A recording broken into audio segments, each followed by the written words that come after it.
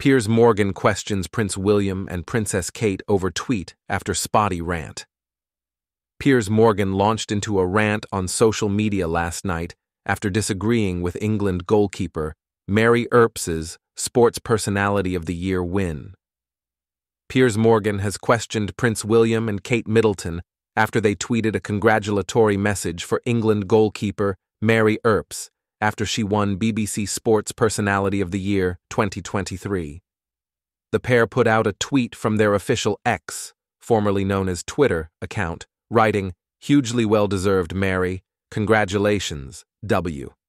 However, Piers, 58, responded to the tweet and asked, Why was it well deserved?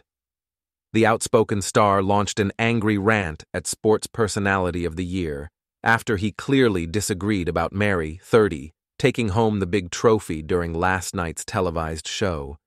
The England Lionesses goalkeeper has become the second women's footballer in succession to win the award.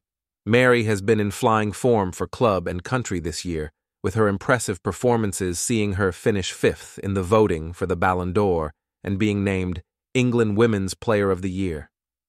Piers took to X to share his opinions with his 8.7 million followers, and he sure didn't mince his words.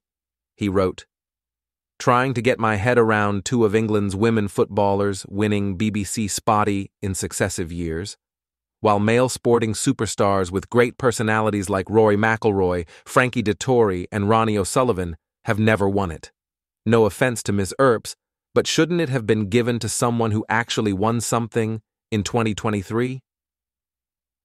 The television personality's fans were left divided over his opinion, with some agreeing with him, while others quite clearly didn't.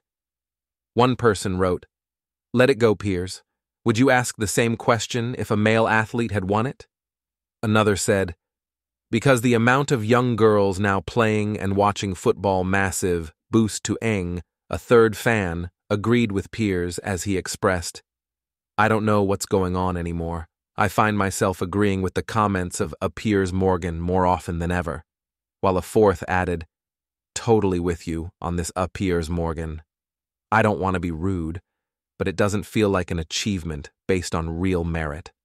England cricketer Stuart Broad was awarded second place at the BBC ceremony, with world heptathlon champion Katarina Johnson Thompson coming third.